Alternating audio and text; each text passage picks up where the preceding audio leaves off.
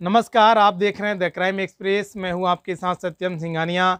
दोस्तों, आज देश का सबसे बड़ा मुद्दा जो है, बेरोजगारी को लेकर है। लोग रोज़गार दो रोज़गार दो, जो युवा हैं अपने देश के, वो रोज़गार दो रोज़गार दो, हर जगह से यही आवाज़ सुनने को मिल रहा है। मैं एक पत्रकार होने के नाते, मैं आपसे राय लेना तो ज़रूर चाहूँगा, लेकिन आपसे आज बात करने के लिए इसलिए मैं आया हूँ कि दोस्तों, ये बहुत बड़ा मुद्दा है देश के लिए। किसानों का मुद्दा आप देख लीजिए। इस देश के युवाओं का मुद्दा आप देख लीजिए। बेरोजगारी जो है एकदम चरम सीमा पे है और देश में मैक्सिमम चीज़ें जो हैं प्राइवेटाइजेशन होते जा रहा है। तो लोगों का कहना है कि क्या प्राइवेटाइजेशन से बेरोजगारी ख़त्म हो जाएगा? बहुत सारे बच्चे जो हैं, मैंने बहुत सारे बच्चों से मिला, मैंने उनसे बात भी किया। उन लोगों का कहना है कि अगर सरकार प्राइवेटाइजेशन करती है तो क्या बेरोजगारी ख़त्म हो जाएगा? अगर ऐसा होता है तो अपने माँ बाप का पैसा जो पाँच साल, दस साल जो बर्बाद होता है, जो लोग अलग अलग शहर में बड़े बड़े शहर में एजुकेशन के लिए अलग अलग शहर में बच्चे जाते हैं कि हम वहाँ रहें और माँ बाप का दुख, दर्द हम ठीक करेंगे, नौकरी मिलेगा मुझे, मैं एसपी बनूँगा डीएसपी बनूँगा डीएम बनूँगा अनेकों प्रकार की नौकरियाँ जो हैं सरकार की। बच्चे चाहते हैं कि हम वो करें और हम नाम रोशन करें माँ बाप का। तो क्या जब ये प्राइवेटाइजेशन हो रहा है तो यहाँ पे एकदम बच्चों में निराशा छा गया है। तो ये कहाँ तक सच है आप ही जर, आप भी ज़रूर बताएँ। बहुत सारे बच्चे जो हैं किसान के लड़के हैं मैक्सिमम बच्चे तो किसान के ही हैं। उन लोगों का कहना है कि हम लोग अब पढ़ाई लिखाई नहीं करेंगे, अब हम लोग खेती करेंगे। बेकार है पढ़ना। दोस्तों, देखिए, सबसे बड़ी बात है कि अभी जो सोशल मीडिया पे एकदम चरम सीमा पे वायरल हो रहा है, बेरोजगारी का मुद्दा जो है, सरकार, मुझे रोज़गार दो रोज़गार दो, हर जगह से आवाज़ें यहीं आ रही है। तो ये कहाँ तक सच है? आपको क्या लगता है कि प्राइवेटाइजेशन से क्या बेरोजगारी ख़त्म हो जाएगा? एक तरफ़ सरकार का मुद्दा दिख रहा है, एक तरफ़ जनता का मुद्दा दिख रहा है, ये लोकतंत्र है, प्रजातंत्र है, जहाँ पे जनता का बात सुनना पड़ेगा सरकार को। चाहे वो किसान का मुद्दा हो, चाहे वो युवाओं का मुद्दा हो, चाहे देश को लेकर किसी भी तबके के लोगों का मुद्दा हो, उसको सरकार को ध्यान देना पड़ेगा इस पर तो दोस्तों, बेरोजगारी जो है एकदम चरम सीमा पे, आप ट्विटर देख लीजिए, फेसबुक देख देख लीजिए, बहुत सारे जो सोशल साइट्स हैं, उस पर रोज़गार के लिए एकदम हैशटैग लगाकर लोग लिख रहे हैं। तो ये क्या ये सच है? ये आप ज़रूर बताएँ। कमेंट बॉक्स में आप अपना राय ज़रूर दें, क्योंकि आपकी राय बहुत ज़रूरी है। दोस्तों, ये रोज़गार जो है, आप देखते हो ये होइएगा कि किसान के बच्चे जो हैं, एक शहर से दूसरे शहर जाते हैं, उस किसान के माँ बाप को क्या दर्द झेलना पड़ता है, नेताओं को नहीं पता।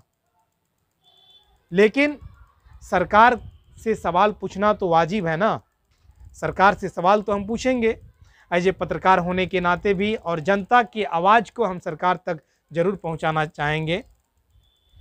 हमारा काम ये है कि जनता के आवाज़ को सरकार सरकार तक पहुंचाना और सरकार की कार्य को जनता तक पहुंचाना।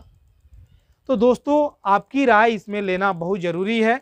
तो सरकार कहाँ तक है और जनता कहाँ तक है क्या ये कुछ लोगों का कहना है कि ये लोकतंत्र का हत्या हो रहा है?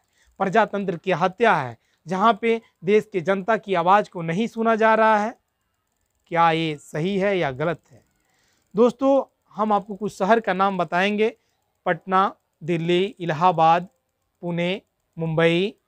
देश के बहुत बड़े बड़े शहर हैं, जहाँ पे बच्चे जो देश के युवा हैं रह कर पढ़ते हैं। उनके माँ बाप कितने कष्ट से उस पैसे को भेजते हैं वो वही समझते हैं। जो नौकरी जो है, उन लोगों को लगता है कि मेरा लड़का नौकरी कर लेगा तो सारा दुख दर्द खत्म हो जाएगा। तो रोज़गार का मुद्दा जो है, इस पर आप भी आवाज़ उठाएँ, आप अपने आवाज़ को बुलंद करें, हम आपकी आवाज़ को सरकार तक ज़रूर ज़रूर पहुँचाएँगे।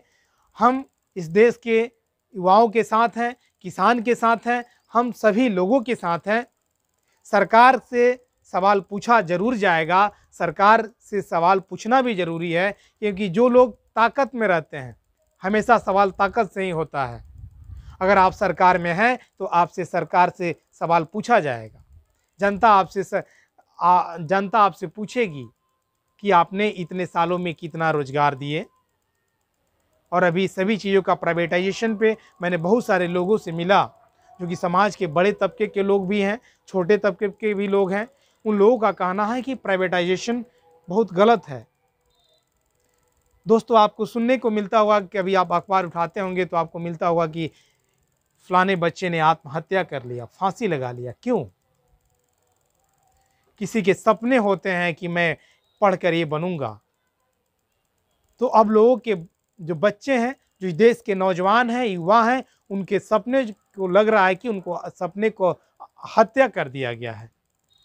तो दोस्तों, आप ये चीज़ अपना राय ज़रूर दें कमेंट बॉक्स में, क्योंकि आपका राय बहुत ज़रूरी है। पूरे देश में एकदम बेरोजगारी का मुद्दा चरम सीमा पे है। चारों तरफ़ एकदम सोशल मीडिया पे वायरल हो रहा है।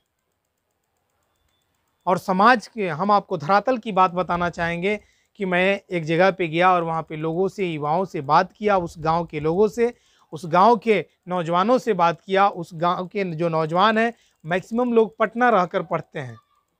और उनके पिता जो हैं, खेती करके बहुत तकलीफ़ से पैसे उनके वहाँ पटना तक पहुँचाते हैं, अपने बच्चे तक कि मेरा बच्चा पढ़ लिख कर बड़ा बने अच्छा इंसान बने।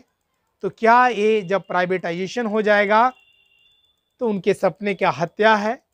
या सरकार सच है, सही कर रहा है, या जनता सही कर रही है? तो इस पर हम सबको मिलकर आवाज़ उठाना पड़ेगा और हम आपकी आवाज़ को ज़रूर बुलंद करेंगे, आपकी समस्याओं का मैं आवाज़ बनूँगा। तो इसी के साथ आप हमारे चैनल को सब्सक्राइब करें, लाइक करें, शेयर करें। अगर आपके पास अगर किसी प्रकार की समस्या है तो आप हम तक ज़रूर पहुँचाएँ। हम आपकी आवाज़ को ज़रूर बुलंद करेंगे। धन्यवाद।